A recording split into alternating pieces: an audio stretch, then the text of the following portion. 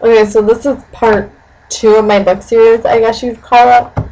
Um, I'm going to do books that I've started reading but I never finished for some reason, and then the book that I am reading right now. My first book is one that I started reading, and it's called The Last Lecture.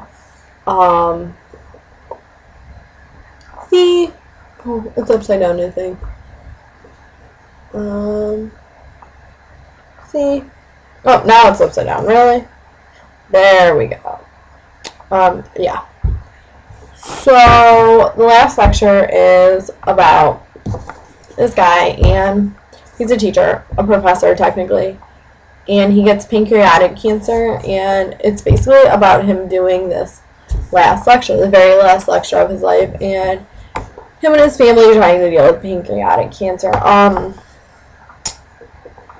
I don't know why I started and never finished it, to tell you quite honestly, because it's not a big book. Um, I think I just might have never gotten into it really, but I'm definitely going to try to finish it, and I'll put a full review up when I do finish it. So yeah. Um, the next one is Getting the Pretty Back. It's by Molly Ringwald. Um, she was part of the Breakfast Club. And for people who are like my age or younger that might not know what the Breakfast Club is, um, she is Amy and Ashley's mom on My Secret or The Secret Life of the American Teenager. Um, I don't really know what this book's about. Um, I think it's more of like a self-help book on how to be like comfortable with yourself and stuff. Um, I kind of picked it up just because it was Molly Ringwald and I love Molly Ringwald. Um, the reason that I never got to finish it is because I gave it to my mom to read. And then when I got it back from her, she, um, when I got it back, um, I had a different book that I was reading, so yeah. Um, yeah.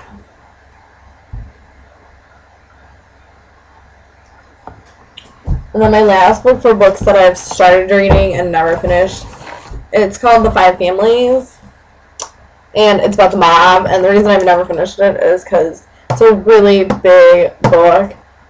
Obviously, as you can see, it's really, really thick. And it's a really, really, really hard read for me because of the fact that I'm dyslexic, and it's just a really hard read for me. Um, it's one of those books where I have to read really small amounts at each time, and then it gets to the point where I'm reading so little of it that I just completely lose what's going on in the book, and I have to start over. I've tried to read this book like about five times, I think.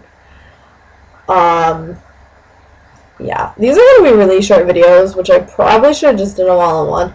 But, oh well. I thought it would be fun to have three different videos. Um, but I definitely think my goal this summer is going to be to try to get through this book.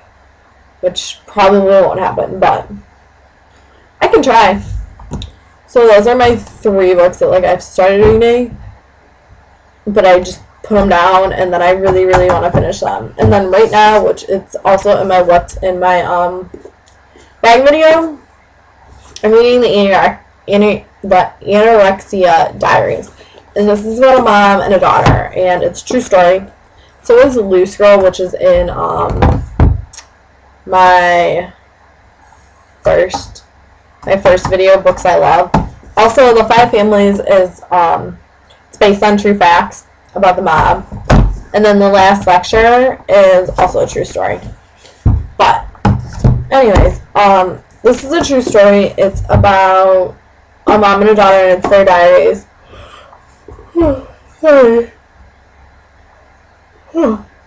but it's their diaries, and um, it's basically about how they individually dealt with the fact that their daughter had that the daughter has anorex, inner anorexia. I can't say that word for some reason today. Um, how they dealt with the fact of her daughter having it. Um, it follows them the before, when it's just like the daughter holding the secret in, the treatment, and then the after, and how it affects their family and their lives and just everything. Um, I thought it would be really interesting. Um, I've never had a problem with anorexia or bulimia, but I picked it up in the psychology section, the self-help section, or I don't know. Psychology and Addiction, I think it was. Um, so I picked it up and I just, it looked really interesting. I'm sorry, I don't know why I'm yawning. But I picked it up, it looked really interesting. Um, read really weird books like this. So yeah, I will definitely, as soon as I finish this, I will do a review on it, like a full review, and put it up so that way you guys can know what you think about it. Because it's like, it's a hardcover book. I don't like buying hardcover books because they're really expensive, and then if you don't like them, you're like out money, and that's not cool. So I would rather like hear a review, although reviews don't always do it justice because I remember I bought um I forget what book it is, but I bought a book in high school and this girl, one of my friends was raving about this book and she absolutely loved the book and it was only in hardcover. So I was like, you know what, screw it, I'm gonna buy it. And I didn't end up liking it. Like I really didn't like it. So I was like really upset about that because it was like a $15 book. But, um, yeah, I'll definitely let you guys know what I think about this book. Okay.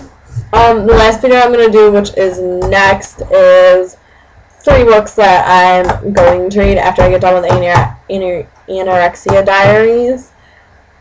And that I picked up when I went to the bookstore before I left Sandusky. Because I went to the bookstore right before I left Sandusky. Um, well, not right before, but a few days before I quit. I wasn't planning on quitting. It's a spur of the moment thing that I did. Um, but yeah, I'll definitely. Um, yeah, I just lost my train of thought and now I'm rambling. So okay, bye. I'll see you guys in my.